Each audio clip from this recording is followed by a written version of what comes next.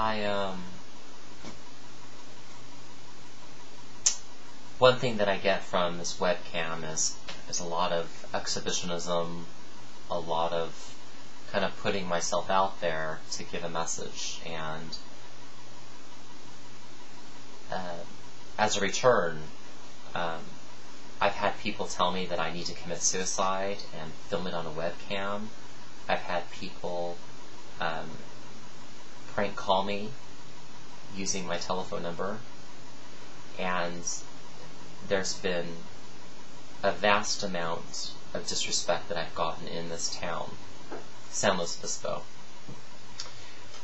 Um, in psychology, we are so scared of change that when there's something that's providing an extra stress, we go toward alcoholism or we go toward other addictions that might deal with possible um, illicit behavior that is socially not acceptable. And the more we give to our pleasures, that could be the alcoholism or other addictions, we start losing sight of a character that maybe when our mothers cared for us as children imparted, invested in us. And so we start depriving ourselves of of a standard of living, a social class. When we give no respect to one another because we feel like failures and we don't know how to believe in caring for men um, in ways that matter, all because we have become pussies in helping ourselves uh, formulate a a positive community for the future, um, people will drift away and we'll find ourselves all the more lonely.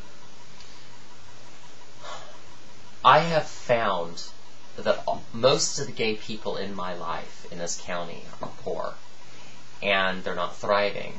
They're not able to take gay cruises, they're not able to travel, and so they put their money toward an instant gratification, which is buying cigarettes they also will litter cigarette butts. And I've been finding that there's a lot of gay men out of the closet, some of them in the closet, are very rude, societal.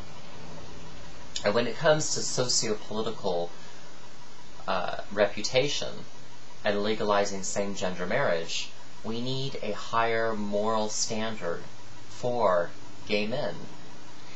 And the men in this area will not let me uh, tell them that we need to bring some correction in the social behavioral sciences so that we will not go toward those addictions. We will not go toward um, alcohol when we are feeling stress.